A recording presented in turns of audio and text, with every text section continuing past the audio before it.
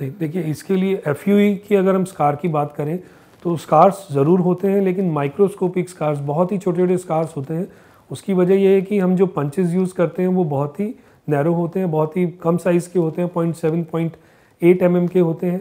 वो टाइटेनियम के पंचेस होते हैं। एंड थर्ड थिंग उनकी जो एजेस होती हैं, वो शार्प होती हैं। हम उसे हर पेशेंट में जो पंचेज होते हैं, उन्हें चेंज कर देते हैं। सो so दैट क्योंकि अगर वो पंचेज अगर शार्प नहीं रहेंगे एजेस अगर ब्लंट हो जाएँगी तो जो स्कार बाद में आएगा, वो थोड़ा सा ज़्यादा कॉन्स्पिकस आएगा। इन सब चीज़ों की वजह से जो स्कार आता है, अगर हम पाँच छः महीने बाद देखेंगे तो ऑलमोस्ट ना के बराबर होगा। बहुत ही पिन पॉइंट छोटे छोटे स्कार्स होंगे, जो कि थोड़ा सा भी अगर बाल होता है तो बिल्कुल विजिबल नहीं होंगे।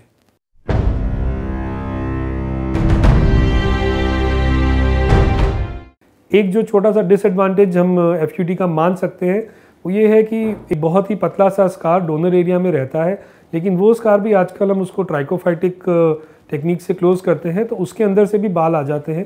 कुछ महीनों बाद वो स्कार करीब करीब ना के बराबर होता है और ऑलमोस्ट इनविजिबल सा होता है।